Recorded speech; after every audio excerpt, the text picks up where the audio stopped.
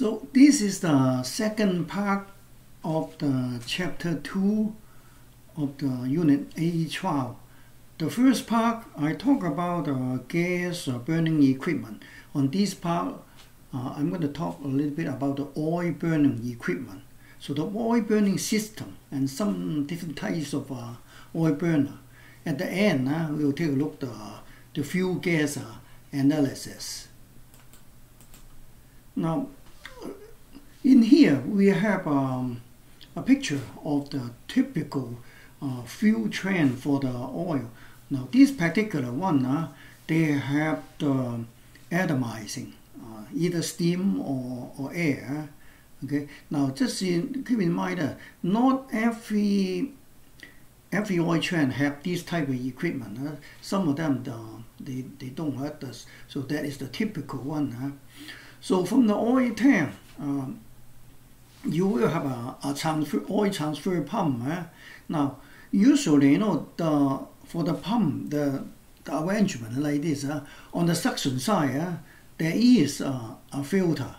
And on the discharge side, uh, so there is the there is the, um, a check valve, uh, so there's a very common arrangement. Uh. Now in here, uh, when and then the uh, the, the oil uh, will pump to somewhere near the, the, the boiler. Now, and in here, you most of them they have the C is a pressure pressure relief valve. So what C does is to keep keep the pressure on the downstream at a const, constant pressure, and if any uh, by by keeping the, the pressure on the upstream the constant, uh, so that means there is some oil you have to return it to the oil tank. Okay. Now depend on how much oil you use on the, the burner, so the amount of oil will return to the tank. So the more you burn, uh, the less oil will return to the tank. Okay, so that is uh, a pressure regulator. Okay, now and then you go through uh, um, a, a couple uh, uh, couple safety switch. Uh, one of them, uh, D, is a low oil uh, temperature cut out. Uh, if temperature oil is too low to be burned, uh, you cut uh, cut it off. Uh. Now and the low low oil pressure cut off the, is E. So num, number E, uh, it will be always there. So the low pressure uh, cut off. Uh, if you don't in, you don't have enough uh, oil to supply the burner, uh, you cannot sustain the burning. Uh, so you shut it off. Uh. Now, the, so the G G in here is said it's a safety shut off valve. So this one is just a, a solenoid valve. You can shut it off by the program. Uh. But F uh, is a safety valve. Now most of uh, this one, uh, the, the freeway valve in here, this one uh, is called the oil uh, safety valve. Uh. So the oil safety valve is not just not like, like the steam boiler uh, safety valve. Uh.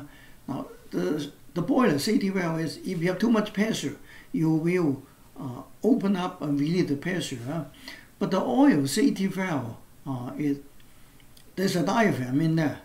So if there is a leak somewhere in the system, uh, you will not produce enough uh, vacuum to keep the, this valve open. Uh.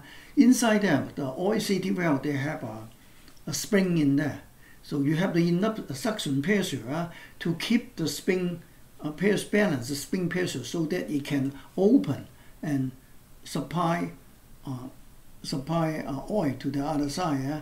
So in case you have a leak there somewhere, uh, there is not not enough uh, vacuum produced, uh, and then uh, this valve will shut off uh, and prevent uh, prevent further oil leak uh, to the environment. Uh. So oil safety valve is not protecting the system; uh, it's protecting the environment. Okay. Now, so this the G it could be um, just a solenoid valve, right? Just a shut off valve. Uh, now and then in here, it said it's a uh, it is a low atomizing steam shut off valve. Okay. Now so on this type of uh, oil train uh, is for not for the mechanical atomizing, uh, for the either steam or oil, uh, steam or air atomizing. So if you don't have enough uh, pressure, either air, air pressure or the steam pressure, you cannot properly atomize the, the oil. Atomize is just uh, breaking the oil into small droplets so that you can burn efficiently. So if you don't have enough uh, atomizing steam uh, or air, uh, the, it will send a signal uh, to the program and shut it off. Uh, and then at the end there, uh, inside the furnace, uh, there will be some uh, burner nozzle. Uh.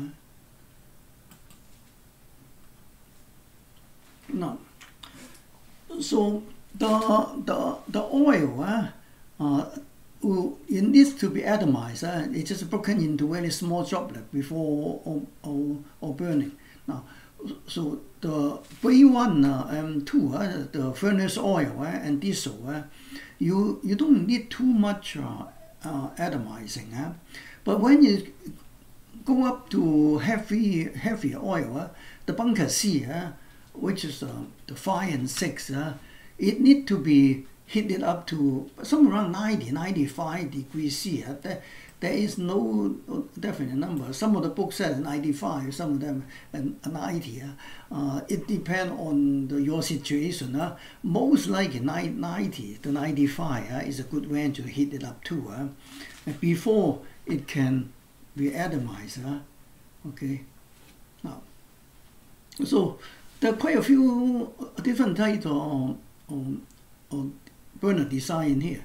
Now, the air or steam atomizing, uh, so there is one of them. Uh, the mechanical atomizing, it's just a high pressure gun, high pressure pump to pump it. Uh, and the rotary cup, it's just a use of centrifugal force uh, to, to do the atomizing. Uh. Now, in here, you show you, you are one of the uh, atomizing nozzle. Uh, what it does uh, is you put some either air or steam uh, and mix up with the oil, uh, which is on the center of the gun. Uh, before you go out to the furnace, you just mix it up uh, so the, the steam or oil and all mix up. The pressure or the steam or air will break up the, the oil droplet into a small droplet and spray it out. and some of the arrangement, they even have uh, the position, the, the, the steam, uh, so that um, the oil and steam mixture, when it go out, uh, it swirl a little bit, uh, so that a better mixing, uh, a better burning too. Uh. Now in here, you, you see the oil atomizer uh, and nozzle uh, is oil on the inside uh, and steam or air on the outside. Uh, when it come out, uh, uh, when it come out, you will have uh, all mixed up uh, and better burning. Now, let's take a look the oil, the air atomizing burner. Uh. So the air atomizing burner is for the small package boiler is um, a smaller unit because you know if if you use this uh, just air to do this, uh, um, air usually is not as good as the steam uh, because steam you have the heat in there and the steam pressure usually it can be a little bit higher than the air pressure. So you need a, a small air compressor and some of the package unit they have the the small air compressor right at the front of the boiler so to produce not not too high a pressure uh, probably around 250 uh, kPa so and those those air it is your primary air. So the primary air is the the air that mix up with the oil and make it spray out to the furnace. And then the secondary air will be inside the furnace. So now, so the the the gun is the same as the the, the steam steam atomizing. It travels in the middle of the gun, uh, and the air is outside, uh, and when it mix in the and the nozzle uh, and they spray out. Uh, okay, so and lots of uh, bigger boiler. Uh, they have two types. They have both uh, the steam and air or air atomizing. And, uh, just said they have both of them in there. The reason being is now let's say you know if you have uh, a boiler um, before you can make steam uh, you have to start the, the boiler somehow uh, uh, steam atomizing is more efficient uh, but if you you, have, you just start up the plant uh, you don't have steam yet uh, you cannot use a steam atomizer uh, so you need to have the oil to atomize the, the air to atomize this uh, so lots of lots of the boilers they they use the air atomizing huh, to start the boiler. When they produce enough steam, uh, and then uh, they switch to the oil atomizing. Uh, okay. Now some of the boiler they, they do not have uh, air atomizing. Uh, so what they do, uh, they they will burn uh, natural gas first uh, and produce uh, a little bit steam first and then they switch to the oil. Eh? So that's a, a dual fuel. Eh? You need a little bit of natural gas eh, to, to do that. Eh? Now, for oil atomizing, eh, it's for the higher capacity burner, the bigger boiler. Eh? Now, so the atomizing steam pressure eh, usually somewhere around a 700. Eh? 700 uh, is is pretty much you know is um, is probably you know the minimum pressure uh, and lots of uh, oil burning. I see the the low oil pressure there. They set around 650. Uh, any living lower that you really cannot uh, uh, properly atomize the, the oil. Uh, okay, so the construction is almost the same uh, as the air atomizing, uh, but instead of, of air, they use a steam. Uh, so and the combustion air, is just the same oil gun. You mix it up before you send it out to the furnace. Now, for mechanical atomizing, uh, uh, with the high high pressure pump, okay. Now, so on the picture there, we the oil train picture, uh, we have a pump. The pump the oil from the oil tank uh, to somewhere near uh, the boiler. So if you use a high pressure pump to atomizing there, there is another another pump, uh, uh, another pump. Uh, it it is um, a positive displacement pump uh, because centrifugal uh, pump you cannot produce too much pressure. Uh. Now those one uh, uh, those pump you have to be really careful for this. Uh. So you want to make sure the discharge is open. Uh before you turn on the pump. Uh, so for all the um, a positive displacement pump, uh, okay. So you have a transfer pump to transfer the oil in somewhere near the, the boiler, and then you use another pump uh, to add a big high pressure to to pump the oil through a nozzle, uh, and then uh, when you apply a high pressure um, into a, a, a, small nozzle, uh, and then it it will spray out. Uh, okay. Um, uh, lots of them, there's a, a, quite a few different de, de, design there. Some of them, uh, it's just a constant capacity. Uh, that means no, you cannot adjust the, the firing way. Once you start it, and that's it. There is only one way to go. Uh, so this one. Uh, now, but some of them, uh, they will have instead because you cannot control the amount the oil for each burner burn. So what you can do uh, is you have to one burner, two burner, three burner. So lots of time you have three burners. Uh. So if your capacity change, uh, you just shut off the other two. Uh, only use one burner will be a lower lower capacity. Uh. If the low demand is a little bit higher, just start another burner. And if the low demand is maximum, uh, just uh, start all three burner at the same time. Uh, okay, so those those you know constant capacity burner, it is for a smaller size. Uh, the, the most high higher capacity, higher bigger boiler, uh, they use a modulating uh, burner. So the modulating burner, um, so it it just said uh, depend on the load. Uh, uh, if you high load, uh, the more more oil delivered to the, the burner and less oil go back to the tank. Uh, okay. So in this case in here, the the oil atomized are at high pressure. Um, so it, positive displacement pump uh, because only the positive displacement pump you can produce higher pressure. So 1700 kPa, uh, um, you, you pretty much need around seven, uh, 16, 1700 kPa. Uh, uh, and for the oil, go for a, a spray, a, a nozzle and a spray pair, and then atomizing. Okay. Now, now, so in this picture of the, the gun. Okay. So you have the oil supply from the high pressure pump. You pump it, and then you, you just in a, uh, this is just a oil chamber uh, and force the the oil uh, into uh, the spray plate and some nozzle. Uh, and if you have high pressure there, a small outlet, the oil will be atomizing. Uh, okay.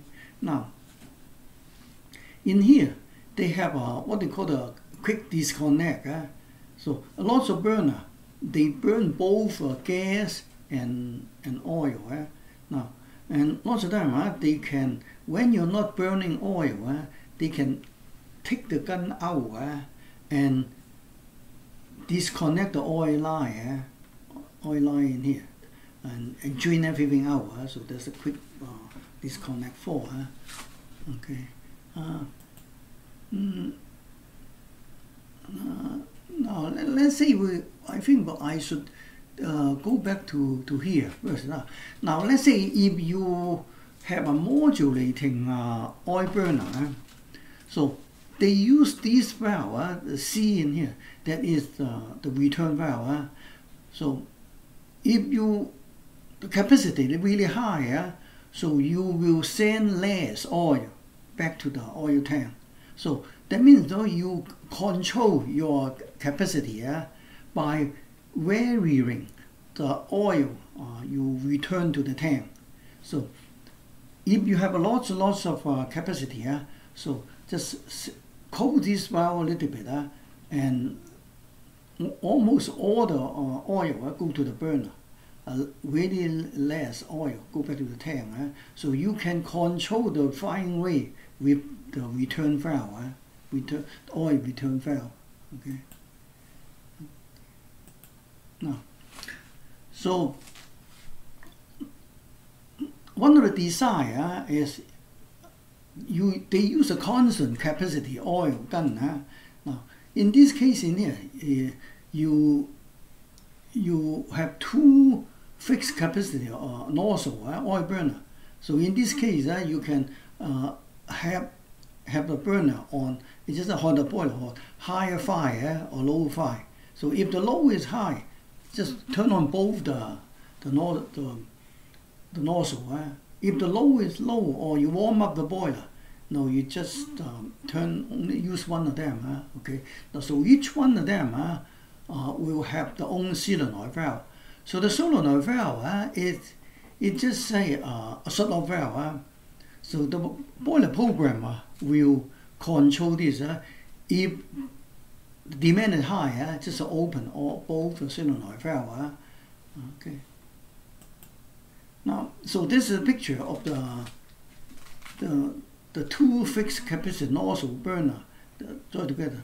So in this case, uh, you have the oil supply in there, uh, and then uh, the have the oil return to the tank. Uh, now, and then so the first set of valve, the first solenoid valve is on off. If you set up the boiler, this solenoid valve will be off. Uh, there won't be any oil go to the burner. Uh. Now the the primary oil cylinder and then the secondary uh, the solenoid valve, solenoid valve is control each burner. So depend on the capacity. Uh, so high, it could be you know this is a very good example. The high fi and low fi.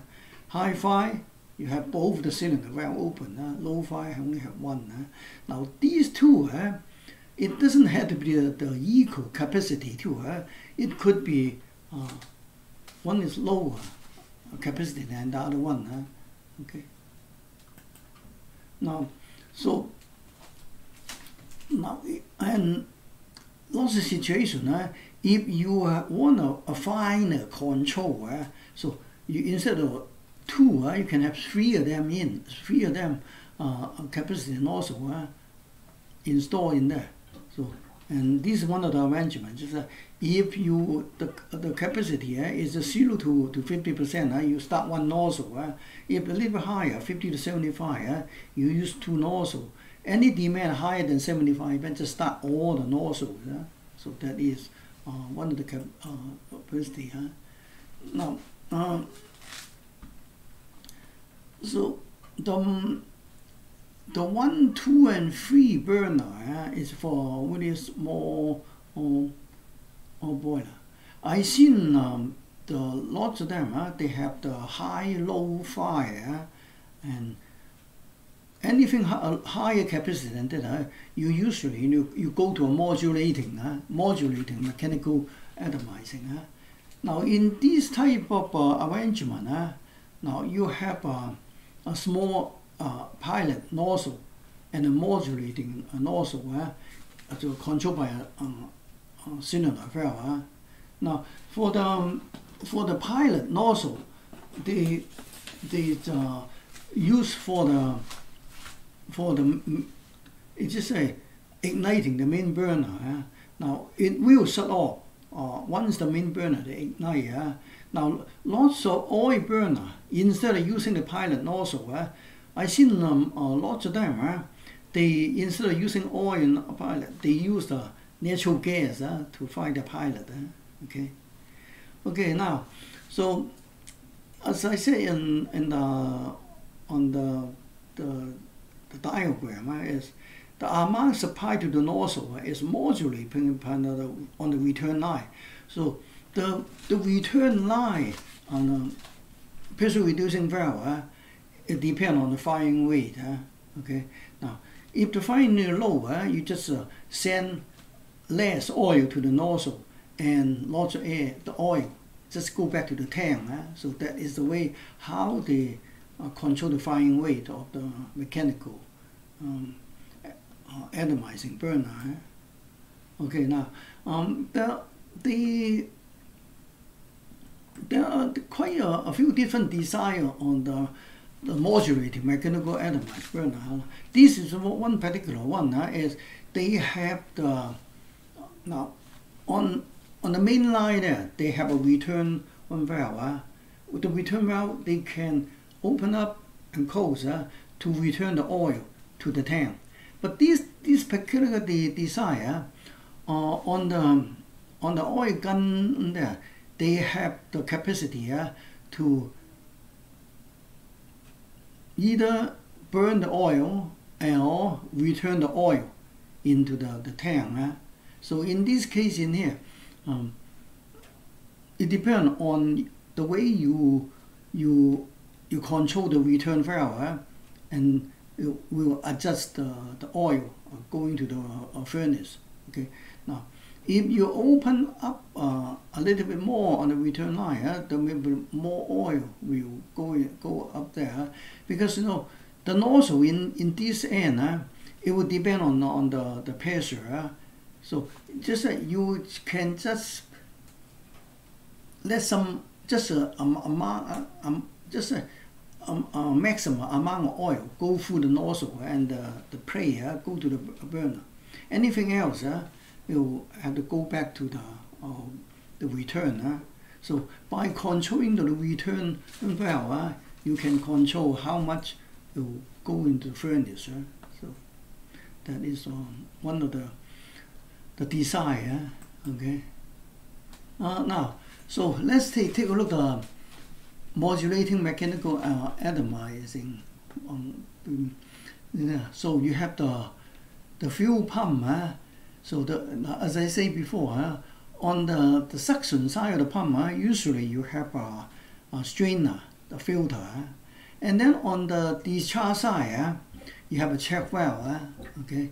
Now, so in this case in here, now if you have a um, a, a relief valve, uh, so if you have relief valve, this valve uh, will maintain uh, the pressure on this line. Uh, so let's say if you have a you maintain 120 psi, so this relief valve will open up if the pressure over 100, uh, 120 psi, uh, let the oil back. Uh, now, and then the oil go full, full in here. Uh, now, and then uh, one of them is a pilot.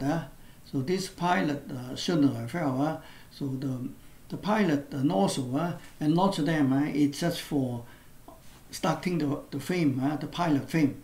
So once uh, your main frame start, uh, this one will shut off. Uh, and then you each one uh, they have a, a solenoid valve. Okay, the each control solenoid valve. Uh, so and then you, the the oil will go through in here and go through the main burner. And uh, on the main burner, then you have a return line, uh, and you have a check valve, and the, go through the the return the the oil return valve. Uh. Now, so this one, uh, this valve, uh, in here is that the motor uh, operate input control valve. Uh. So this one it not necessarily have to be motor control. Uh. You can use a pneumatic to con control that too. Uh. So this valve, uh, the the control, the return control valve, this is the valve that will control the flying way of the uh, of your burner.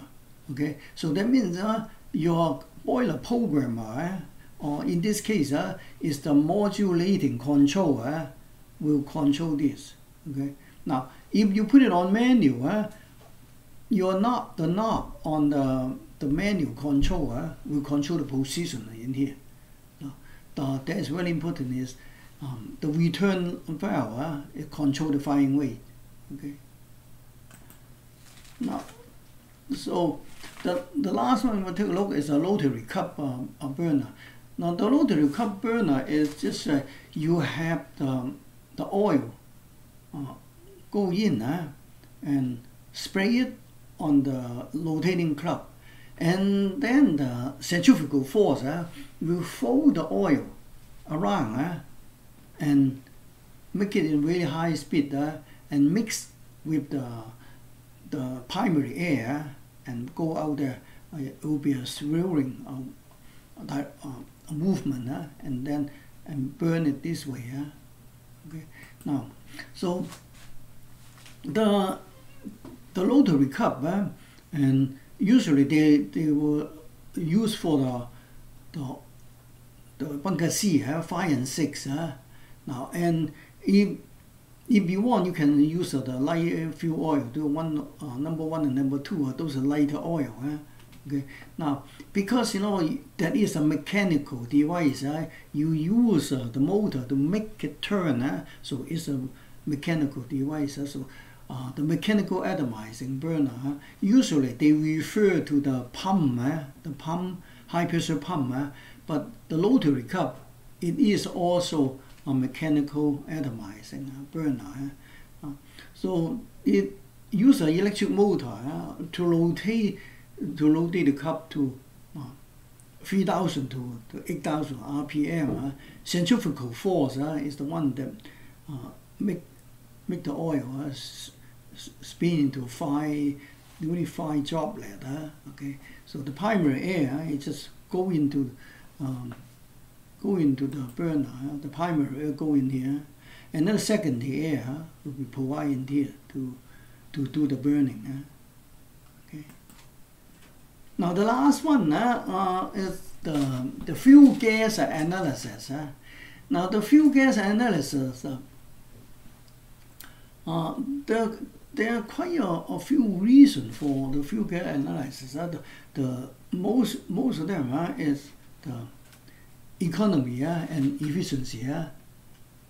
And you measure the, the CO, uh, CO2, O2, and the stack temperature. Uh, and another one is uh, environmental concern. Uh, you want to limit uh, the SO2 and the NO2 uh, the NOx uh, okay now um,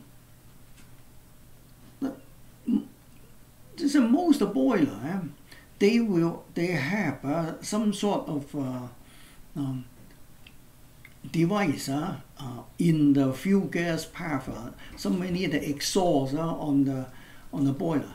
They they measure CO, CO2, O2. Uh, and the most common one uh, they measure is O2 trim. We call the O2 trim. So the O2 trim, they want to control the O2 uh, so that you know you don't have ex too much excess O2. Uh.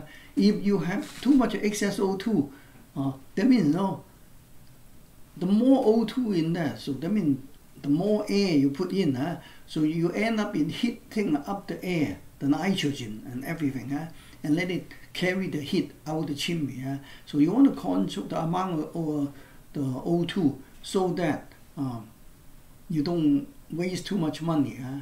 And then the CO2, right? if you don't have in the O2, and then you have the CO, uh, carbon monoxide. So if you have carbon monoxide, you you're not burning the fuel right. Yeah? So and it's dangerous too. Now there's a really common one. Uh, is O2, uh, and the, and by measuring the stack temperature, you will know. Um, it's just uh, you the, the the burning rate. So if you measure the stack temperature and you also um, measure, you know, the how good your economizer is working. Uh, okay. Now the environmental concern monitor level SO2 and NOx. Uh, so lots of these uh, is uh, automatic. Uh, um, you it's in the stack temp, in the stack all the time. Uh, if the the level SO2 or uh, is too much, it gives you the alarm. Uh. Now so in here, it shows you the handheld flue gas analysis. Uh. What it does is you open, uh, you, you have uh, a space on the outlet of the furnace, uh, maybe a, a plug or something. Uh, you can open the plug uh, and you put this uh, sensor in there. When you sensor in there, and because you know uh, the the flue gas, uh, usually you know you have uh, the vacuum going up to the stack. Uh, so those flue gas will not come out to your room. Uh. When you put in there, and this device, uh, they tell you lots and lots of things. Uh, it, it could be just uh, the CO, CO2, or O2, the whole sort of deal they, they tell you in this. Uh. Now, this one, you know, you, you can check it or, uh, once a while uh, and adjust the, adjust the the, the, the oxygen trim. Uh. Now these devices uh, usually they come with uh, an internal pump, uh, so they draw the, the, the flue gas in, uh, in, in, the, in the one there, There's a hollow one. Uh. They, they draw the flue gas in uh, uh, and then do the analysis pin it out. Uh. Okay. Now another one uh, is the it is a continuous emission monitoring system uh, in the stack. Okay, now some of them uh, is they monitor the, uh, the SO2 and the NOx uh, all the time. Uh, but very common, you will have uh, a device uh, in in the stack to measure the, the oxygen, uh, oxygen trim, and then the the uh, the reading uh, input will go into the the programmer and then the programmer will adjust the damper for economy uh, reason. Uh, so, so um, um, that is the, the flue gas uh, analysis. Uh, so that concludes our, um, this is a second chapter.